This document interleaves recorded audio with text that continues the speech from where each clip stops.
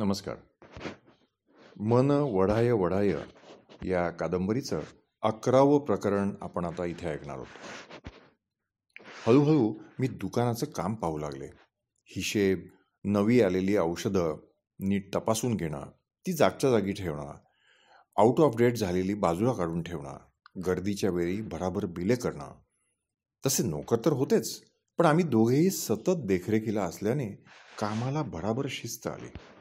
मलाही त्या वेगळ्या कामामुळं काहीतरी नवीन जाणीव झाल्यासारखं वाटू लागलं. मुख्य म्हणजे आपण श्रीधरांबरोबर काही करू शकतो त्यांच्या बरोबरीनं काम करू शकतो याचा फार मोठा आनंद मिळू लागला. लोकांच्या नजराही आस्ते आस्ते स्थिरावल्या. केवळ मला बघायला येण्यातली पहिली गंमत विरून गेली. थोडक्यात म्हणजे लोक मला सरावले मी लोकांना सरावले. बाहेर आणि घरातही. अधनमधनं हंसाबाईकडनं खूप गोष्टी सहज सहज कळल्या. केरवारे करायला आमचे कपडे वाळत घालायला ती वर येई तेव्हा. तशी ती मोठी आगाऊ आणि पक्की लबाडबाई होती. तिलाही तेच हवं असायचं. त्या घरातलं पूर्वीचं सारं सांगायचं आणि माझंही जमल्यास काढून घ्यायचं. म्हणजे पुन्हा शेजारी पाजारी तोंडी लावून सांगायला गंमत. कॉलेज शिक्षण चालू असतानाच हेमूच्या आईचे श्रीधरांशी लग्न झालं.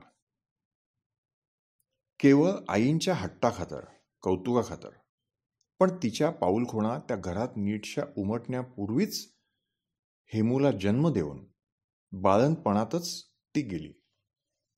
श्रीधरांना ती धड आठवतही नसावी. पुढे कॉलेजातच आगेमागे शिकणारी सुमित्रा आणि श्रीधर परस्परांच्या प्रेमात पडली. सुमित्राबाईंनीच मग चार महिन्यांच्या हेमूला वाढवलं. हेमू दोन तीन वर्षाचा असतानाच मेघश्याम जन्मला. पण सहा सात वर्षाचा असतानाच अपघातात गेला. नव्या गाडीतून सगळे ट्रिपला गेले आणि काय आणि चांगले पेरू दिसले म्हणून गाडीतून उतरलेल्या बाबांच्या मागोमाग श्यामू धावत गेला आणि वळणाऱ्या ट्रकनी तेव्हापासून बाईंचे घरादारावरचं लक्ष उडालं. त्यांनी बाहेरच्या कामातच स्वतःला बुळवून घेतला. नोकरी होतीच. उरलेल्या वेळात तुमच्या आमच्या सारख्यांसाठी झगडू लागल्या. पण तेव्हापासनं का कोण जाणे? साहेबांचे आणि बाईंचे झगडेच जास्त जास्त वाढू लागले. पुढे नीतूबाई जन्मल्या. काय त्या पोरीचं नशीब म्हणा की पायगुण म्हणा की काही म्हणा. एवढी गोड पोर पण तिच्या जन्मानंतर साहेब घरात तर बाई बाहेर. बाई घरात तर साहेब बाहेर. आणि पुढं पुढं तर काय विचारूच नका. आमच्या सारख्यांच्या घरी बी खपणार नाही असला कालवा आणि मारामारी. आता तुम्ही आल्यापासनं साहेब अक्षी शांत झालेत. एरवी निस्त्या वाघोबाच्या डरकाळ्या आणि नागोबाची फुसफुस. आमच्या बाईंच्या शांतपणाची मात्र कमाल ह? तरी बी एवढं घर सांभाळलं. सासू सासर हेमू दादा लहान. पर कधी बी कंटाळा केला नाही कसला की कावल्या नाहीत. आपण तर बया पळूनशान गेलो असतो असल्या घरातनं. हा साहेबांना मात्र बाई बरोबर जागच्या जागी मुद्द्याची उत्तरं द्यायच्या. बोलण्यात लई हुशारीनं पकडायच्या. नि मग आमच्या साहेबांचा पारा असा चढायचा असा चढायचा जसा खवळलेला समिंदरच. बाईंना चटपट इकडे तिकडे फिरताना मी वर्ण बघून घेत होते. पण त्यांनी माझ्याकडे एकदाही ढुंकूनही पाहिलं नव्हतं. आमच्या दुकानामुळे आणि त्यांच्या नोकरीमुळे जेवणाच्या वेळा वेगवेगळ्याच असत. सुट्टीच्या दिवशी त्या स्वतःच्या खोलीतच जेवण मागवीत. हेमोही आईच्या पावलावर पाऊल टाकून त्याची प्रत्येक गोष्ट असे इतका त्याला बाईंचा लढा होता. रात्री तो जास्त वेळ जागत अभ्यास करत बसला तरी बाईंची टिपेतली पण आर्जवी हाग ऐकू ये हेमंत! बाई त्याला चुकूनही हेमू म्हणत नसत. म वरचा अनुस्वार आणि त अगदी स्वच्छ पूर्ण पुन्हा तचा ताही कधी व्हायचा नाही. पुरे बघू जागरण. आता झोपा मग सकाळी दूध प्यायलाच नऊ वाजवायचे. आठ आठ वाजे तू झोपून. नीतू धिटाईने येऊन हळूच माझ्याशी बोले. कधी त्यासाठी मार खाई बोलून घेईल पण तिला राहवत नसे. पुष्पाताई तुमच्या बांगड्या किती छान येतो हो. आणि तुमचे केस पण. हातात तरी कसे मावता तो वेणी घालायला? एकदा तुम्ही इथे आपल्या बागेत बसून वेणी घाला ना. म्हणजे माझ्या आईला तुमचे मोकळे केस दिसतील. मी कितीदा सांगते पण ती लक्षच देत नाही. बाई आपल्याकडे ढुंकून सुद्धा पाहत नाहीत हे माझ्याही मनात सलत होतेच. आणि एक दिवस खरंच मी खालच्या अंगणात उभी राहून वेणी घालू लागले. जवळचा केराचा डबा होता. त्यात पुन्हा पुन्हा कंगवा साफ करून गुंतवळ टाकत टाकत पलीकडल्याच खिडकीतल्या आतल्या कट्ट्यावर बसून म्हणजे काबुलीवाल्यातल्या मिनीसारखी नीतू एकटक उत्सुक हसऱ्या डोळ्यांनी माझा पिसारा नजरेत साठवून घेत होती. आणि आतून तात्यांचा गज बायको आल्या. झिंज्या धरून बाहेर काढा दिला आधी. अहो तिची जातच तसली. उद्या पुढल्या पायरीवर जाऊन बसेल गिराईक गटवत. खिडकीतून होल्डॉल किंवा वलकटी धपकन ओढून खाली घ्यावी तसं नितूला झटक्यात बाईंनी ओढलं असावं. क्षणात फार दिशी खिडकी बंद झाली.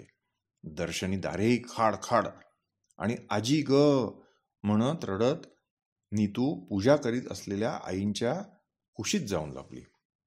मी पळत वर आले. सुष्मी गेल्यापासून आज कित्येक दिवसांनी खरेखुरे रडू आले. नीतूला त्या लहान लेकराला आज आपल्यासाठी मार बसला. बाईंनी आपल्याकडे पाहावं म्हणून आपण तरी इतकं जिद्दीला पेटायचं काय कारण? कळत होतं पण वळत नव्हतं. वर बाथरूम वगैरे सगळ्या सोयी होत्या. पण कधीकधी आम्ही त्याही वरच्या गच्चीत झोपत असू. उन्हाळ्यात वगैरे किंवा खास चांदण्या रात्री. मग मला पुन्हा खाली जायचा कंटाळ येई हंसाबाई तिसऱ्या मजल्यावरही एखादी बादली भरून ठेवत असे. पण पावसाचे पाणी वाहून जाण्यासाठी केलेली ती पन्हळ नेमकी बाईंच्या झोपायच्या खोलीजवळ जुईच्या वेलाखाली वाहत असे. वरून पाणी ओतलं की खालीच दुर्गंधी सुटायची. बाईंची जीवाभावाची डॉक्टर मैत्रीण महिना पंधरा दिवसाने त्यांच्याकडे राहायला येत असे. जवळच्याच खेड्यावर तिचा दवाखाना होता. जुईच्या कळ्या तोडता तोडता एकदा डॉक्टर मुद्दामच मोठ्याने बोलत असाव्यात. सुमित्रा हे काही बरोबर नाही हं. अगं ह्या गोष्टी जरब देऊन दरडावून सांगायलाच पाहिजेत. असल्या घाणीनं इथं डास मच्छरांचा नुसता भुजभुजाट होईल. आणि वास तरी कसा सहन करतेस हा? नाकाला रुमाल लावून वर पहा डॉक्टर म्हणाल्या आणि त्यांनी बाटलीभर फिनाईल तिथं आणून ओतलं. डोळ्यांवर राखेचं कातड ओढलेल्या निखाऱ्याच्या संथपणे बाई म्हणाल्या तू आत ये सुनेत्रा. खिडकीतून वर आलेले इथे चिकार घोस आहेत. पाचच मिनिटात खिडकी खार दिशी बंद झाली. काचा हादरल्या. या प्रत्येक वेळी बाईंच्याही मनाच्या झडपा अशाच बंद होत होत्या. अशाच बंद होत होत्या का? खाड खाड धाड धाड फाड फाड आणि आत कोंडलेले घुसमटलेलं काळीच एक दिवस स्वयंपाकांच्या बाईंनी अचानकच दांडी मारली.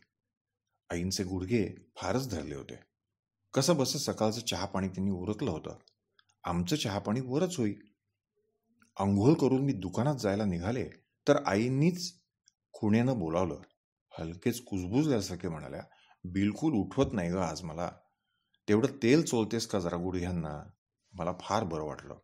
तशी मी आता बऱ्यापैकी रुळले होते. आणि विशेष म्हणजे ज्या आईंशी बिलकुल संबंध ठेवायचा नाही असं मी पक्क ठरवलं होतं. त्याच माझ्याशी जास्तीत जास्त सहानुभूतीने वागत होत्या. सुष्मीची सासू. बापरे! त्या टॉर्चच्या आठवणीनेही अजून डोळे दिपतात. माझी सासू माझी आई सुष्मीची आई एकूण सर्व टॉर्च टॉर्चच वेगवेगळ्या कंपन्यांचे वेगवेगळ्या ब्रँडचे. या सगळ्या तरा पाहिल्यामुळे वडीलधाऱ्या मंडळींचं मला वावडं असे त्यामुळे आईंशी तर बिलकुल संबंध ठेवायचा नाही हे मी पहिल्याच सलामीला त्यांनी फोन उचलला तेव्हा ठरवलं होतं. जेव्हा मी त्यांना काळकी गोरं पाहिलेलंही नव्हतं. श्रीधरने एक फाकडूबाई चक्क घरात आणून ठेवली आहे याचा गावभर बभरावायला वेळ लागला नाही. त्यात ही मंडळी आधीपासूनच सुप्रसिद्ध. तात्या नाणावलेले वकील. म्हणून गावात आणि आसपासच्या गावात त्यांच्या नुसत्या नावाचाही दबदबा. त्यात पुरातन काळापासूनचे वतनवाडीदार श्रीमंत जहागीरदार. एक एक रमाकाकू ठमाकाकू मी दुकानात जायला निघायच्या आधीच थोडा वेळ माझ्या जाण्याची चाहूल हेरत खाली आईकडे येऊन बसत. त्यावेळी त्यावेळीही कितीदा तरी मी आईंच्या तोंडून ऐकले होते. तशी बरी दिसते हो. रीतभर रीतभात चांगल्या घरची चांगल्या कुळातली. ते आता तुमच्या पोरासाठी घ्या तुम्ही गोड करून. पूर्वीच्या माणसांनी म्हणी केल्या त्या उगाच नाहीत. लाडका लेख देवळी हागे.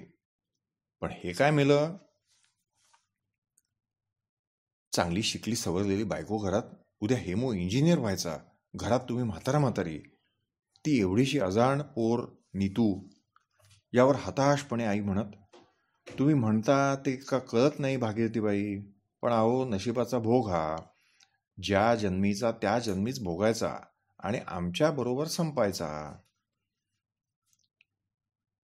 पण हे बरीक श्रीधरने काही धड केलं नाही.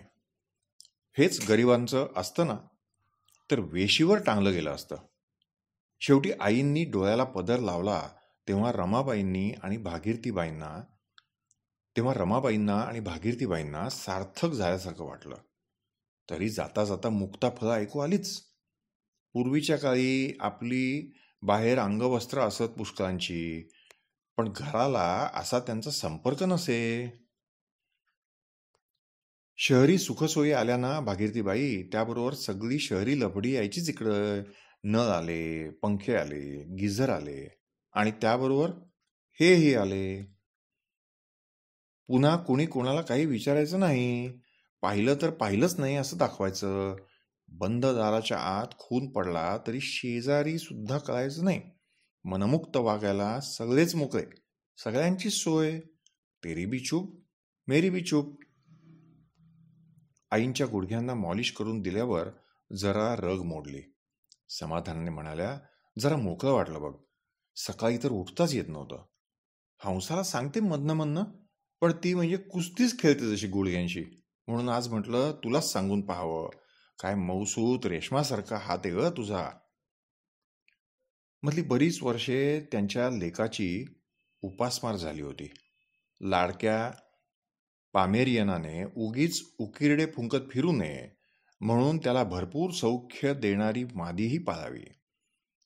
तशी म्हणून मी मौसूद रेशमासारखी का? म्हणूनच मी आईंना विशेष खूपत नसेन का? विचारांच्या तंद्रीत आईंचं पुढचं बोलणं मी नीट ऐकलंच नाही. म्हणून त्या पुन्हा हळूच माझ्या कानापाशी लागल्या. तात्यांना ऐकू न जाईलशा आवाजात. तेवढी जरा खिचडीही टाकून दे मुगाची. सुमित्रा उद्या सकाळी येईल. स्वयंपाकीन काकूही उद्या येतीलच. आणि पुन्हा अगदी आवाजही बाहेर उमटून न देता म्हणाल्या हे काही आता इकडे यायचे नाहीत.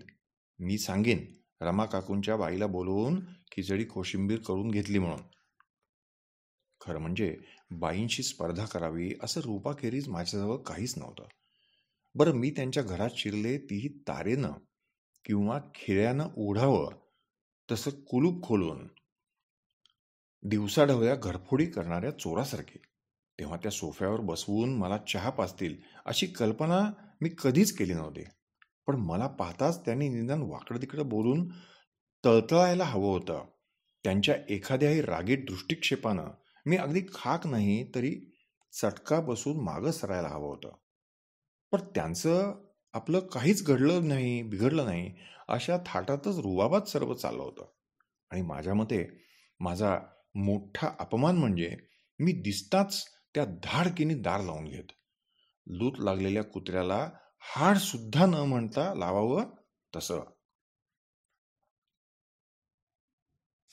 त्यांनी माझ्याकडे इतके अजिबात कधीच पाहिले नव्हते की बाहेर मी भेटले असते तर हीच ती आपल्या संसारावर दरोडा घालणारी स्त्री एवढंही ओळखलं नसतं. एरवी मागून बाजूने कोपऱ्यातून तिरपे असे कुणी पाहिलेलेही आपली चलाख नजर सहज टिपू शकते. आपण किती उठावदार पोशाख केलाय किती मोहक केशरचना केली आहे हे आजमावण्यातच आजवरचं माझं आयुष्य गेलं होतं. आणि या बघ्यांच्या जगात माझ्यासारखीला हरभऱ्याच्या झाडावर चढवणाऱ्या नजरांना तोटा नव्हता. म्हणूनच बाईंचं माझ्याकडे ढुंकूनही न पाहणं मला अगदी डाचत होतं. पित्त एकसारखं घशाशी यावं. धड खालीही सरकू नये की उलटूनही पडू नये. अशी मी गुदमरत होते. पुन्हा पुन्हा घशात बोटे घालून स्वतःचेच पित्त खवळवत होते. बाई धाड दिशी दार बंद करून ग्रंथात बुडून जात होत्या. स्वयंपाकघरात गेले. पदर बांधला. म्हटले खिचडीच कशाला? आज श्रीधरांनाही चकित करायचं. आपल्या हातचे खमंग काहीतरी जेवायला घालून. नारळाचं दूध घालून जरा वेगळ्या चवीची आमटी केली. भरली दोडकी टोमॅटो काकडीची पचडी हंसाबाईचा मध्ये मध्ये लुबरेपणा चालूच होता. ती काय? चाकर माणूस. मी ताडभर जेवायला वाढताच माझ्यावर खुश. माझा स्वयंपाक होता होताच आईंनी गरमागरम नेऊन तात्यांना वाढलं. जरा वेगळी चव त्यांना आवडली. म्हणाले आपल्या काकूंना रजा देऊन ह्या रमाबाईंच्या बाईला स्वयंपाकाला ठेवून घे. पगार वाढवून द्या वाटल्यास. मला कसंच वाटलं ते ऐकून. कसं? ते सांगता नाही यायचं. तात्यांचं झाल्यावर आईंनीही गरम गरम जेवून घेतलं. नीतू सकाळच्या शाळेतनं यायची होती. हेमोही कॉलेजमधनं आज लवकर यायचा होता शनिवार म्हणून. बहीण भावंड एकदम जेवणार होती. आणि माझ्या शेवटच्या एक दोन पोळ्या होत असतानाच बाई अचानक गावाहून आल्या. त्यांना काहीच कसली कल्पना नव्हती. स्वयंपाकून काकी स्वयंपाकीन काकू आत आहेत असं समजून हातपाय धुवून बेधडक टेबलापाशी येऊन बसणार तोच भरल्या घरात उलट्या पायांचं दिसावं. तशा शहारून आल्या पावली मागे फिरल्या. पाठोपाठ दार लावल्याचा आवाज घुमला ॲटम बॉम्बला लाजवील असा. आम्ही दुकानातनं आलो. तेव्हा बाई आणि मुलं बाहेर जेवायला गेल्याचं हंसाबाईनं गंभीर चेहऱ्यानं सांगितलं. आम्ही दोघांनी जेवून घेतलं. श्रीधर म्हणाले कित्येक वर्षांनी घरेलू चवीचं सुग्रास असं जेवलो. नाहीतर काकूंचं म्हणजे तीच चव आणि तोच मसाला. आणि आता त्यांनाही पक्क कळलंय. आपल्याशिवाय ह्यांचं अडणारच. दुसरी बाई काही टिकायची नाही. त्यामुळे तर त्या मन मानेल ते आणि तसं काहीही करत असतात. उरलेलं अन्न मी झाकून ठेवलं आणि वर गेले. संध्याकाळी हंसाकडनं कळलं ते सगळं अन्न भिकाऱ्यांना वाढलं गेलं होतं. हंसाबाईंच्या हातानंच. त्या दिवशीपासून बाईंचा सासूशीही आबोला सुरू झाला आणि ते येडं हंसाबाई आमटीसाठी हाय हाय करीत बसलं होतं.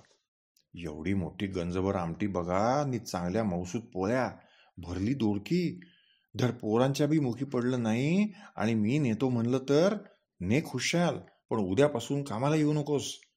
आमच्या बाईंचं समद चाललंय बघा. पण हेच लई हट्टाला पेटल्यासारखं ना. तर आपलं सोडायचं नाहीत. तर आपलं सोडायचं नाहीत. यानं साहेब बी लई खवळायचं. रात्री बाईंनी पुन्हा सगळा रात्री बाईंनी पुन्हा स्वतः सगळा स्वयंपाक केला. मी काही न बोलताच खुणेने तुम्ही हवं तर जेवायला जा आज मी येणार नाही असं सांगितलं.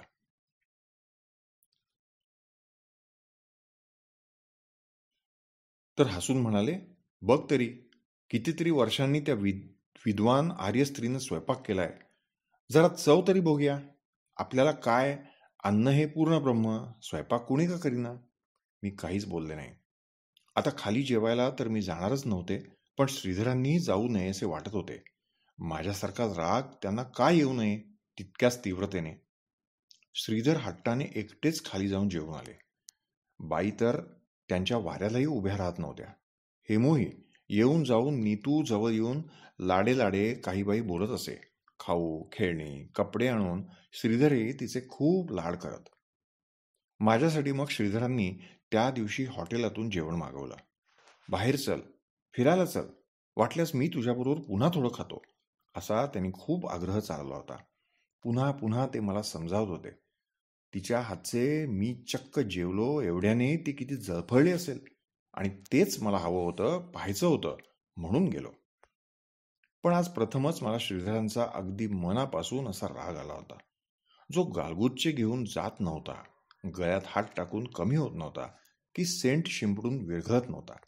त्यामुळे मी उठायला की बाहेर जायलाही तयार नव्हते. हॉटेलचं ताट आलं. पण त्याही अन्नाला मी शिवले नाही. शेवटी श्रीधर कंटाळले. सिगरेट ओढीत गच्चीत जाऊन बसले.